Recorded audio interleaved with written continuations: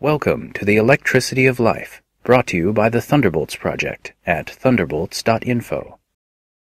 To further explore the topic presented in the previous video, here are several examples of research in the science discipline of heliobiology. Some are redundant in their verification of the findings made by others, but typically each one has set out to measure additional intricacies of the observed phenomena. In this case, an observed relationship between periods of higher geomagnetic activity, abbreviated as GMA, and cardiac behavior in humans. Along with sharing some of the physiological details, I hope this snapshot serves to illustrate the range of heliobiology experiments focused on even just the human heart. In 2011, an international collaborative effort of three scientific groups from Athens, Greece, Košice, Slovakia, and Sofia, Bulgaria, studied the influence of GMA on heart rate. Participating were 4,018 aviators in Slovakia. Heart rate data was taken for various levels of workout intensity on exercise bikes, with different amounts of load for pedaling. Data was collected for an eight-year period and compared to geomagnetic activity and cosmic ray intensity. The results were a strong confirmation. High GMA levels were associated with variations in arterial, diastolic, and systolic blood pressure. The authors described the curve of their data in terms of the model of general adaptation syndrome. The data shows physiological variables reach minimum levels the days before or during geomagnetic storms. Then the variables display a degree of above normal homeostasis. Later, the participants' bodies show signs of impairment again perhaps because compensating for the unusual influence has expended some biological resources. In an earlier study of this effect in 2009, a small team of scientists from Bulgaria's Solar Terrestrial Influences Laboratory and Azerbaijan's National Academy of Sciences coordinated with hospitals and emergency aid stations. They sought to further test heart attack correlations with geomagnetic storms and to differentiate some of the finer points of the phenomena. One set of data included 1,192 patients at a university hospital in Sofia, recorded over nine years. Another set included data for 4,479 patients throughout the Baku region, over a time frame of only 2.5 years.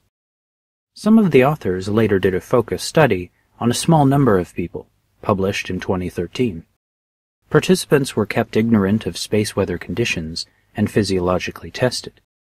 The authors noted how much earlier than geomagnetic storms some of the repeatable responses were, and felt that particular perturbations of Earth's ultra-low frequency pulsations before geomagnetic storms should be scrutinized in future studies. Just this August, three scientists at Laurentian University in Canada examined heart rate variability in volunteers in a controlled magnetic environment, mimicking the Earth's geomagnetic pulsations under various conditions. Their results happened to validate that ultra-low frequencies in the GMF specifically affect human heart rate variations. The authors theorized that the magnetic fields tested may influence the forces that govern potassium ion movement, affecting cellular resting potentials and action potentials in neurons. The high-frequency component of heart rate are the small variations, while the low-frequency aspect are the larger patterns of broader highs and lows across the data.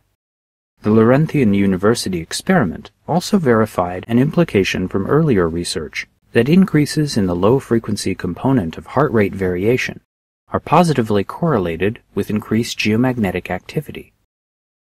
Some other highly specific and perhaps unexpected queries about geomagnetic activity effects have been explored out of accident or necessity. A study at two hospitals in Italy analyzed close to 18,000 blood samples collected from the placenta and umbilical cord from 1999 to 2011. The blood, generally referred to as umbilical cord blood or UCB, is increasingly used to treat immunologic and hematologic diseases but treatment outcomes heavily depend upon its varying amounts of three traits, such as its amount of stem cells. All three critical traits of UCB were correlated in some way with a cyclical influence which appeared to closely match the GMA. a correlation this study verified. Stem cell counts in this part of human birthing are higher during times of moderately increasing geomagnetic activity. Meanwhile, blood volume in the samples was inversely correlated with geomagnetic activity. So perhaps such variation in the pulsing electromagnetic background around us simply has a slight inhibitory effect on the transitioning of stem cells and progenitor cells into their final forms. Or is this a symptom of how pregnancy is affected in less direct ways by ULF and GMA influences on a person's heart or blood pressure? Thanks for taking part in this episode of The Electricity of Life, and stay tuned for future episodes on a great variety of topics.